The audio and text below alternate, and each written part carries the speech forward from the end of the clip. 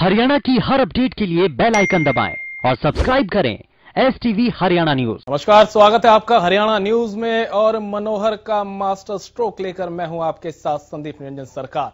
बड़ौदा उपचुनाव में अलग अलग राजनीतिक दलों के नेता चुनाव प्रचार में लगे हैं। चुनावी मैदान में उतरे उम्मीदवार अपनी जीत पक्की करने के लिए दिन रात मेहनत कर रहे हैं। साथ ही राजनीतिक दलों के वरिष्ठ नेता भी चुनावी प्रचार में हैं। इसी कड़ी में सीएम मनोहर लाल ने गुरुवार को हल्के के पाँच गाँव का दौरा कर चुनाव प्रचार किया, जिसके बाद बीजेपी के लिए बड़ौदा की चुनावी हवा सकारात्मक हो रही है। एक रिपोर्ट देखिए।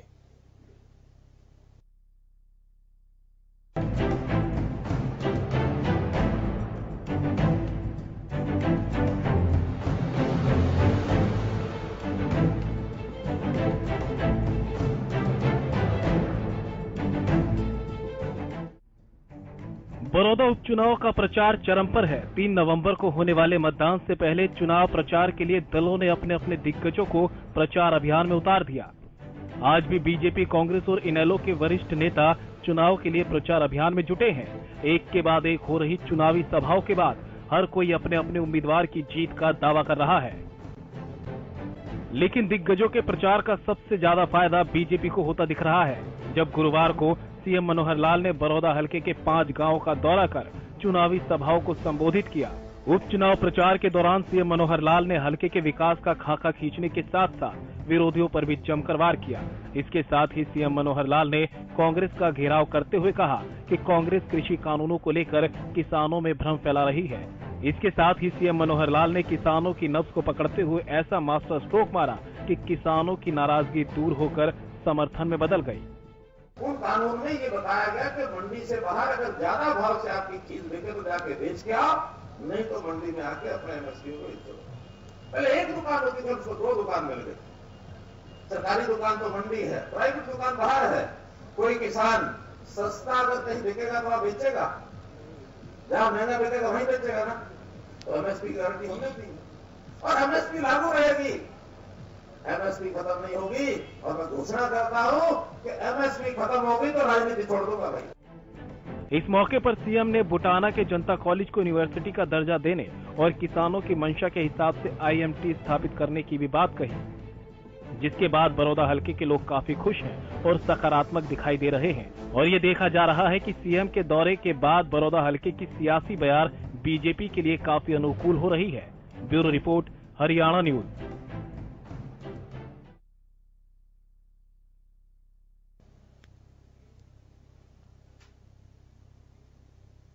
तो पूरे प्रदेश की जो नज़रें हैं इस वक्त बड़ौदा पर टिकी हुई है, क्योंकि जो वहाँ का उपचुनाव है, वो किस्मत तय करेगा कि आगे की राजनीति कैसी होने वाली है। और अभी तक देखा यह जा रहा था कि पार्टियों में टक्कर है, घमासान है, मगर कल की जो रैली सीएम मनोहर लाल ने की, हालाँकि उससे पहले कयास ये लगाए जा रहे थे सीधे तौर पे कि इसका फ़ायदा बीजेपी को पहुंचेगा क्योंकि खुद रण में मुख्यमंत्री उतर चुके हैं। पाँच गाँव का दौरा किया और जैसे जैसे शाम बीतती रही वैसे वैसे माहौल बीजेपी की तरफ़ बदलता चला गया और आखिर में मनोहर लाल ने एक ऐसा मास्टर स्ट्रोक मारा कि अब कह सकते हैं कि कहीं ना कहीं बड़ौदा की हवा बीजेपी की तरफ़ चलने लगी है। मुख्यमंत्री मनोहर लाल ने साफ़ कहा कि अगर मंडी और एमएसपी खत्म की जाती है तो मैं राजनीति से इस्तीफा दे दूँगा। खुद अगर मुख्यमंत्री और जो है प्रदेश का मुख्य बड़ी बात को कह देता है तो उसके बाद देखना यह भी बनता है कि आगे की राजनीति इससे किस ओर जाती है। हालाँकि जो धीरे धीरे जो हवा पलट रही है, उसका अंदाज़ा भी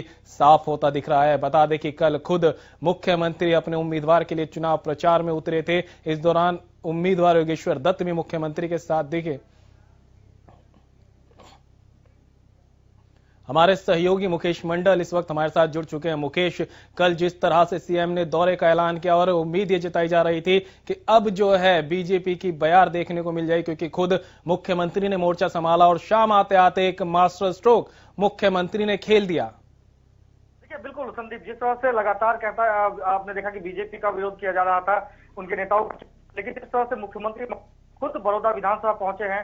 उन्होंने पाँच गाँवों का दौरा किया। उसके बाद जाकर कहीं ना कहीं आपने देखा कि कितना भारी समर्थन मिल रहा है और अब जो हवा चल रही है वो कहीं ना कहीं बीजेपी के लिए फ़ायदेमंद है जिस तरह से मुख्यमंत्री मनोहर लाल का बड़ौदा पहुँचना। उसके बाद उनका जो भाषण था चलिए चलिए मुकेश आपको आपको रोकना चाहूँगा बनाए रखूँगा आपको। हालाँकि आपको बता दें किस तरह से मुख्यमंत्री ने जो है दौरा किया और दौरे के बाद में जिस तरह से जो बयार बदली है, वो अपने आप में देखने लायक है। सीएम मनोहर लाल ने संबोधन में क्या कहा आपको बता देते अगर एमएसपी खत्म होती है तो राजनीति छोड़ दूँगा।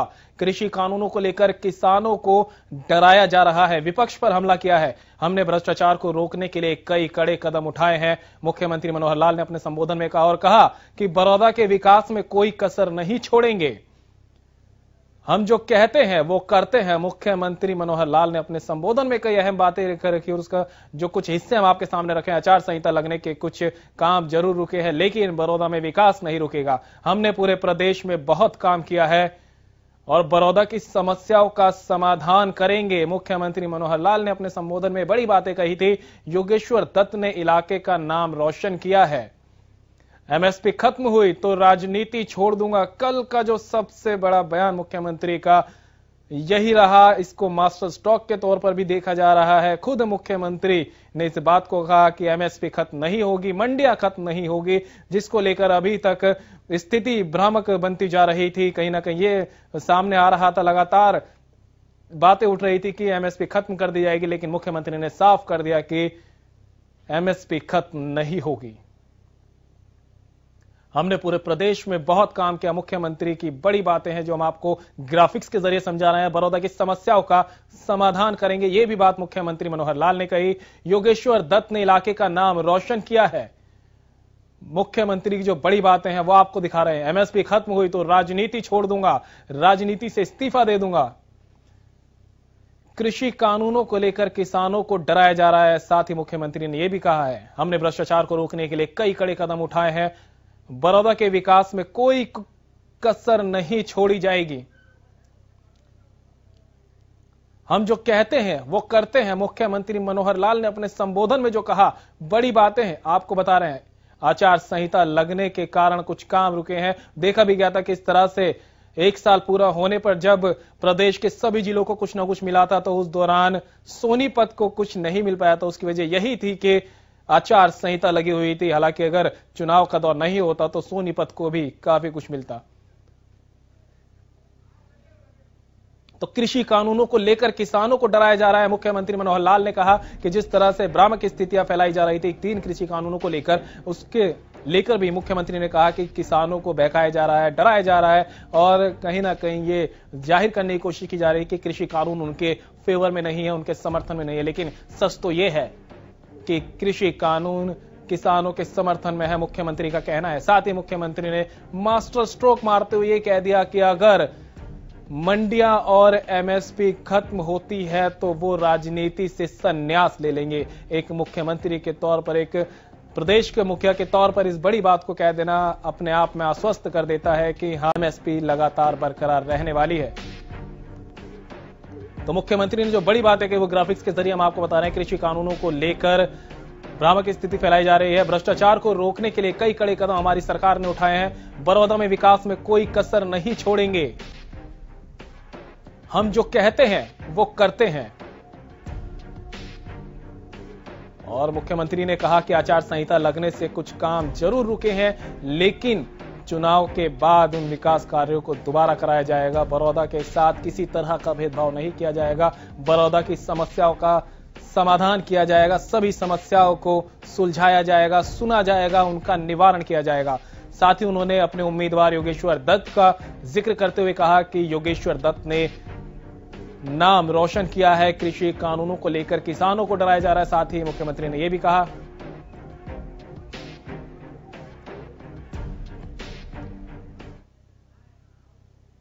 तो इस वक्त की बड़ी खबर से आपको रूबरू करा देते हैं। इस वक्त की बड़ी खबर आ रही है बड़ौदा से डिप्टी सीएम दुष्यंत चौटाला गंगाना पहुँचे हैं। गंगाना गाँव से करेंगे चुनाव प्रचार की शुरुआत। पहले मुख्यमंत्री कल पहुँचे, अब उप मुख्यमंत्री पहुँच चुके हैं। खेल मंत्री संदीप सिंह भी साथ में मौजूद रहेंगे। डिप्टी सीएम दुष्यंत चौटाला के पाँच गाँवों में जनसभाएँ करेंगे दुष्यंत चौटाला। तो बड़ौदा से इस वक्त की बड़ी खबर आपको बता रहे हैं। डिप्टी सीएम दुष्यंत चौटाला गंगाना गाँव पहुँचे हैं और अपने प्रत्याशी के लिए चुनाव प्रचार में उतरेंगे। पाँच गाँव का दौरा करेंगे। कल मुख्यमंत्री ने पाँच रैलियाँ की और आज उप मुख्यमंत्री ने मोर्चा संभाल लिया है। खेल मंत्री संदीप सिंह भी इस दौरान मौजूद रहेंगे। पाँच गाँव में जनसभाएँ करेंगे उप मुख्यमंत्री दुष्यंत चौटाला, डिप्टी सीएम दुष्यंत चौटाला। गंगाना गाँव पहुँचेंगे पहले और उसके बाद पाँच गाँव का दौरा किया जाएगा।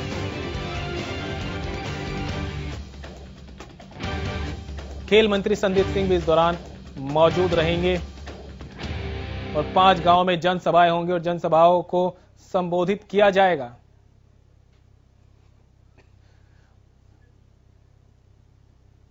तो इस वक्त की बड़ी खबर से आपको रूबरू करा रहे थे गंगाना गाँव में डिप्टी सीएम चुनाव प्रचार करेंगे और पाँच गाँवों का दौरा करेंगे अपने उम्मीदवार योगेश्वर दत्त के लिए। चुनावी मैदान में उतरे हैं deputy CM Dushyant Chautala. Vote की अपील करेंगे, साथ ही बताने की कोशिश की जाएगी, अपने कामों को गिनवाया जाएगा और यह भी बताया जाएगा किस तरह से आगे और विकास किया जा सकता है।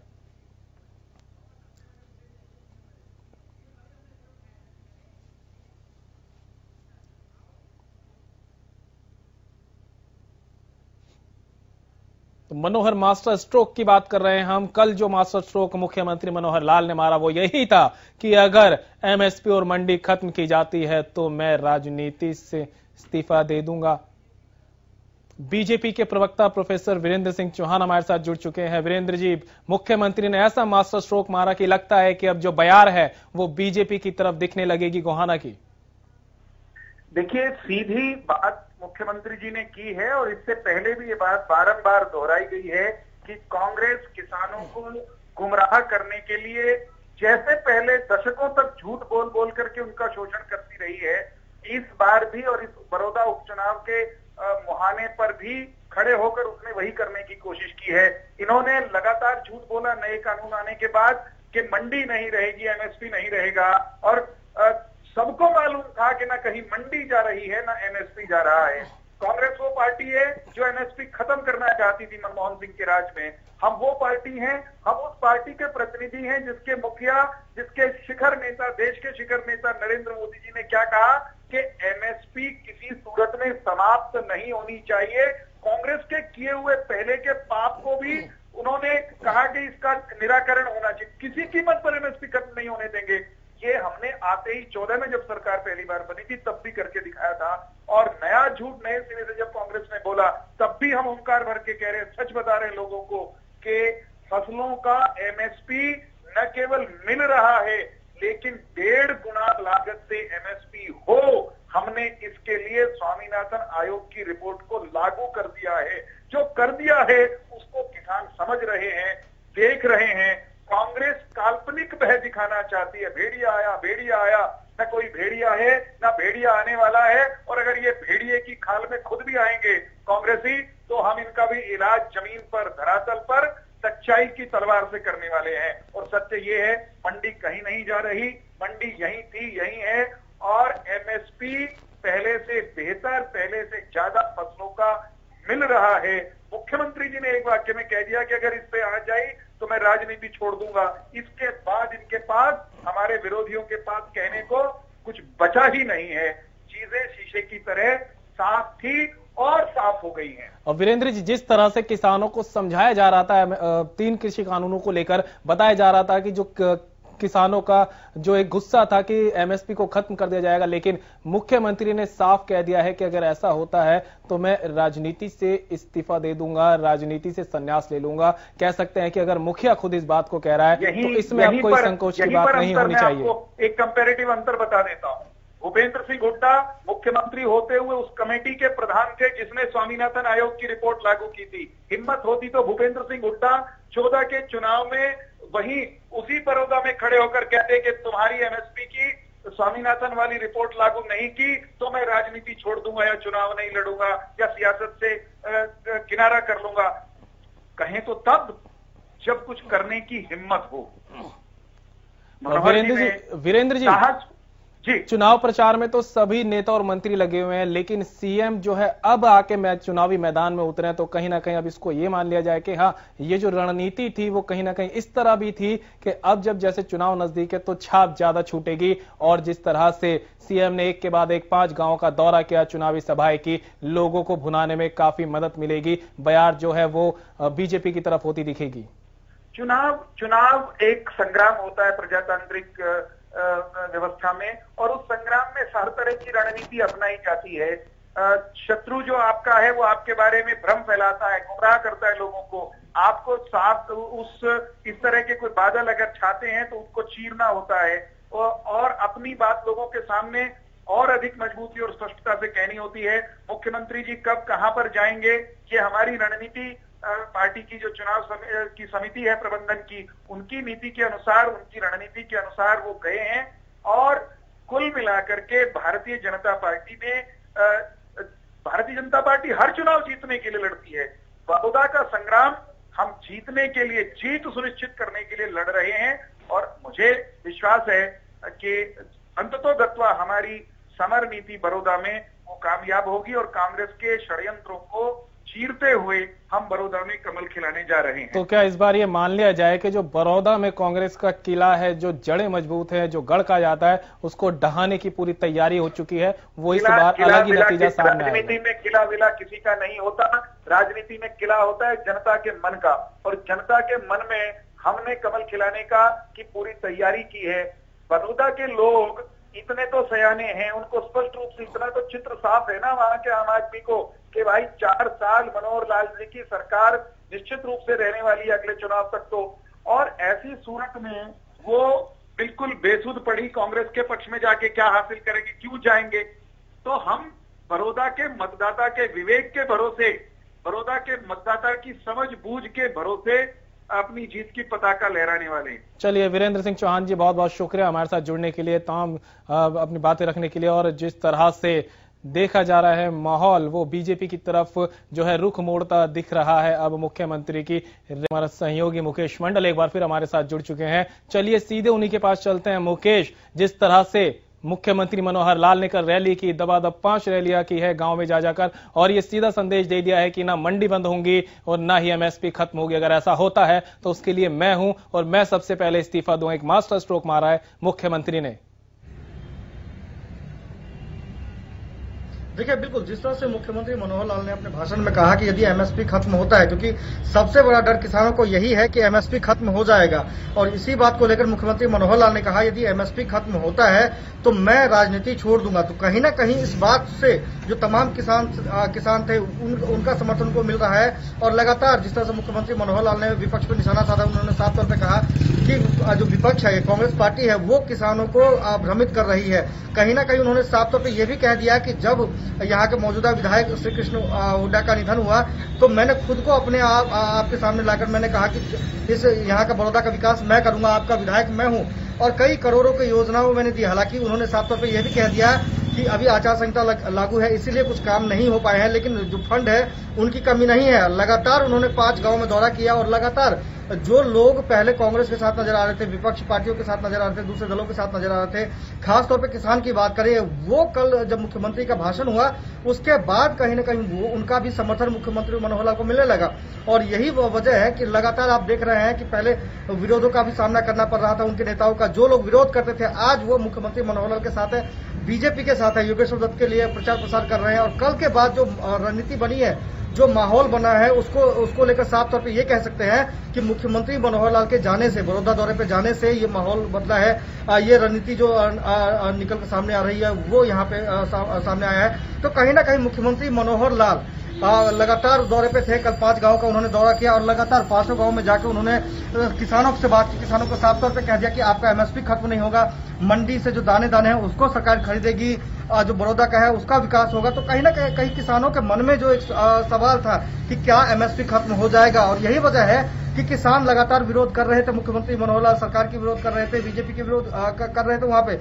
लेकिन कल के बाद आपने देखा कि जिस तरह से माहौल चेंज हुआ, जिस तरह से किसान जो पहले विरोध कर रहे थे वो मुख्यमंत्री मनोहर लाल के साथ खड़े नज़र आए हैं उनके भाषण के बाद। तो कहीं ना कहीं ये कह सकते हैं कि बड़ौदा का जो रणनीति है जो समीकरण है उसको उसकी बात करें तो कल के बाद वो समीकरण चेंज होते नज़र आ रहे हैं। और लगातार इसी तरह से माहौल रहा तो बीजेपी के लिए आ, कोई बड़ी बात नहीं कि वहाँ से वो अपने जो प्रत्याशी है उसको जीत कर वहाँ से ले जाएँगे योगेश्वर दत्त को जीत कर वहाँ से ले जाएँगे। तो कहीं ना कहीं अब देखने वाली बात ये होगी कि जिस तरह से मुख्यमंत्री मनोहर लाल के दौरे के बाद जो किसान इकट्ठा हुए हैं और तमाम जो किसान हैं, वो जो मुख्यमंत्री मनोहर लाल के साथ हैं, उनका समर्थन कितना मिलता है? लगातार किसानों की बात मुख्यमंत्री मनोहर लाल ने की, अपने पाँच गाँवों में उन्होंने दौरा किया। पाँचों जगह उन्होंने साफ़ तौर पर कह दिया कि एमएसपी को खत्म नहीं किया जाएगा। आपकी जो समस्या है, उसका निवारण होगा। बड़ौदा का हमने विकास करवाया है। और बड़ौदा के विकास के लिए फंड की कोई कमी नहीं है। लेकिन जिस तरह से यहाँ का यहाँ यहाँ जो कांग्रेस जो माहौल बना रही है, खास तौर पे किसानों को लेकर उन्होंने कहा कि किसानों को जो बरगलाने का काम विपक्षी पार्टी कर रही है तो इससे बचना होगा किसानों को। और साफ़ तौर पर उन्होंने खुले स्वर में कह दिया, खुले मंच से उन्होंने कहा कि यदि एमएसपी खत्म होता है तो सबसे पहले इस्तीफा मैं दूँगा। किसी भी स्टेट के मुख्यमंत्री के लिए बहुत बड़ी बात यह है कि वो खुद इस्तीफे की पेशकश करते हैं खास करके जब ऐसा किसानों वाला मुद्दा हो। उन्होंने खुद कॉन्फिडेंस के कहा, साथ कहा कि एक एक दाना आपका बिकेगा किसानों की कोई समस्या नहीं होगी जो एमएसपी है उसको कभी खत्म नहीं किया जाएगा। तो कहीं ना कहीं कल के बाद माहौल जो है वो एक बार बदलता नज़र आ रहा है और जो बीजेपी की लहर है उसमें वो किसान भी शामिल हो गए हैं जो पहले बीजेपी के खिलाफ थे जो मुख्यमंत्री मनोहर लाल के खिलाफ थे। जी। आ, मुकेश तो बीजेपी की रणनीति ही माना जाए इस चीज़ को लेकर के जो है आ, ये बीजेपी जिस तरह से अपने नेताओं को, अपने मंत्रियों को तो पहले उतार चुकी है, लेकिन अब जैसे जैसे अब चुनाव पास आ रहा है और जो है प्रचार पर रोक निकलने वाली है, उसी से जस्ट पहले मुख्यमंत्री खुद उतरे मैदान में और सीधी सटीक एक बात में बात कह दी कि मैं मुखिया हूँ और अगर बड़ौदा का विकास ऐसा नहीं है कि नहीं होगा, बड़ौदा का विकास होगा, हम करेंगे और अगर एमएसपी पे कुछ बात आती है तो मैं खड़ा हूँ, मैं इस्तीफे की पेशकश करूँगा और अपने आप में बड़ी बात है कि एक प्रदेश का मुखिया इतनी बड़ी बात कह देता है। देखिए, बिल्कुल, कुछ दिन पहले की बात करें तो एक सौ पैंसठ करोड़ की सौगात बड़ौदा को मिल चुका है। और खासतौर पर आपको याद होगा, जब मुख्यमंत्री मनोहर लाल हरियाणा भवन दिल्ली में बैठे थे और योगेश्वर दत्त, तमाम खिलाड़ियों के साथ वहाँ पे पहुँचे थे, उन्होंने साफ़ तौर पर कहा कि मुझे टिकट दीजिए, मैं इस बार बीजेपी के खाते में ये सीट डालूँगा। हालाँकि आपने देखा कि प्रचार प्रसार में तमाम लोग थे, लेकिन खिलाड़ी कहीं नज़र नहीं आ रहे थे। लेकिन अब वो खिलाड़ी भी तमाम प्रचार प्रसार में नज़र आ रहे हैं। योगेश्वर दत्त के साथ वो खिलाड़ी, आपने देखा कि प्रचार प्रसार कर रहे हैं। तो कहीं ना कहीं अब जो रणनीति है, आखिरी के दिनों में वो बीजेपी उसको चेंज करने में लगी है और मुख्यमंत्री मनोहर लाल के जाने के बाद जो वहाँ पे एक नए समीकरण बन रहे हैं, जो किसान विरोध कर रहे थे, जो लोग विरोध कर रहे थे स्थानीय निवासी, अब वो मुख्यमंत्री मनोहर लाल के सपोर्ट में आ गए हैं। मुख्यमंत्री मनोहर लाल के साथ नज़र आ रहे हैं, जो बीजेपी के नेता हैं, उनके समर्थन में आ रहे हैं। तो कहीं ना कहीं एक रणनीति के तहत कह सकते हैं कि मुख्यमंत्री का वहाँ जाना और जिस तरह से उन्होंने साफ़ तौर पर खुले मंच से कहा कि कोई भी समस्या नहीं रहेगी बड़ौदा में फंड रिलीज़ कर दिए गए हैं और भी तमाम आचार संहिता के मद्देनजर अभी यहाँ विकास कार्य नहीं हो रहे हैं। कुछ काम में कुछ काम अभी रुका हुआ है, लेकिन जितना विकास होना चाहिए, उससे ज़्यादा हमने विकास किया है। और जब यहाँ से जो विधायक थे, उनकी मृत्यु हुई, उसके बाद उन्होंने खुद आकर कहा कि मैं बड़ौदा का विधायक हूँ। उन्होंने तमाम लोगों की समस्या भी सुनी, लोगों की समस्याओं का निवारण भी किया। लेकिन अब जिस तरह से आपने देखा कि किसानों को लेकर उन्होंने कल मंच के माध्यम से विपक्षी पार्टियों पर आरोप लगाया है, उन्होंने हमला बोला है कि जिस तरह से विपक्षी पार्टी किसानों को बरगलाने की कोशिश कर रही है, गुमराह करने की कोशिश कर रही है, इसको लेकर उन्होंने साफ़ तौर पर कह दिया कि यदि आप लोग के मन में ये सवाल है कि एमएसपी खत्म होगा तो एमएसपी खत्म नहीं होगा। मैं मुख्यमंत्री मनोहर लाल इस्तीफा दे दूँगा। यदि एमएसपी खत्म किया जाएगा तो ये कहीं ना कहीं बड़ा बयान था मुख्यमंत्री मनोहर लाल का और यही वजह है कि जो तमाम किसान थे जो एमएसपी को लेकर चिंतित थे, जिनको लग रहा था कि मंडी एमएसपी खत्म हो जाएगा, मंडी से उनका अनाज नहीं उठेगा, वो किसान अब मुख्यमंत्री मनोहर लाल के साथ नज़र आ रहे हैं बीजेपी के साथ नज़र आ रहे हैं। और लगातार आपने देखा कि जिस तरह से मुख्यमंत्री मनोहर लाल ने प्रचार प्रसार किया, उसके बाद किसानों का जो हुजूम है, उन्होंने समर्थन दिया। और आज की बात करें तो आज जहाँ भी योगेश्वर दत्त जा रहे हैं, वहाँ उनका स्वागत हो रहा है, वहाँ किसान तमाम इकट्ठा हो गए, जो किसान पहले बीजेपी के खिलाफ थे जो ये कह रहे थे अध्यादेश लाकर सरकार ने किसानों के साथ बुरा किया है। वो किसान आज बीजेपी के साथ नज़र आ रही है और यही इसी को राजनीति कहते हैं कि एन मौके पर चौका मारना। जिस तरह से मुख्यमंत्री मनोहर लाल का वहाँ पर पहुँचना और समीकरण बदलना तो कहीं ना कहीं मुख्यमंत्री मनोहर लाल के लिए और बीजेपी के लिए एक अच्छी पहल है, एक अच्छी बात है कि जो किसान पहले खिलाफ थे, आज उनके समर्थन में आ रहे हैं। और यही वजह है कि अब जो रुख है, कहीं ना कहीं वहाँ से बदलने लगा है। यदि साफ़ तौर पे कहा जाए तो बीजेपी के लिए एक अच्छी खबर है, योगेश्वर दत्त के लिए जो वहाँ के कैंडिडेट है, जेजेपी के लिए अच्छी खबर है, क्योंकि कुछ नेता ऐसे भी माने जा रहे थे, जो लगातार लोगों बीच में जा रहे थे। किसानों को मुद्दे, किसानों के मुद्दे पर उनका विरोध किया जा रहा था, लेकिन अब आप देखते हैं कि कोई भी नेता कहीं भी जा रहे हैं उनका समर्थन मिल रहा है लोगों का समर्थन मिल रहा है क्योंकि किसान उनको समझाने की ज़रूरत थी। मुख्यमंत्री मनोहर लाल ने यही काम किया सबसे पहले जाकर कि अध्यादेश के बारे में किसानों को समझाया। उन्होंने कहा कि आखिर ये कृषि बिल किसानों के लिए है कितना फ़ायदेमंद है तमाम चीज़ों पर उन्होंने बात की और यही वजह है कि जब किसानों को यह पता लग गया कि ये बिल हमारे फ़ायदे के लिए है एमएसपी खत्म नहीं होगा मंडियाँ बंद नहीं होंगी हमारा अनाज है उसकी पूरी कीमत मिलेगी अनाज का एक एक, दाना सरकार हमसे खरीदेगी तो कहीं ना कहीं किसान को यह समझ में आया कि ये जो बिल है, वो किसानों के लिए है और यही वजह है कि किसानों ने मुख्यमंत्री मनोहर लाल को समर्थन दे दिया है और कहा जाता है बड़ौदा विधानसभा में कहा जाता है जिनको किसानों ने समर्थन दे दिया निश्चित तौर पे जीत उन्हीं की होती है। और यही बड़ी वजह है कि मुख्यमंत्री मनोहर लाल ने जितने भी कृषि अध्यादेश को लेकर डॉट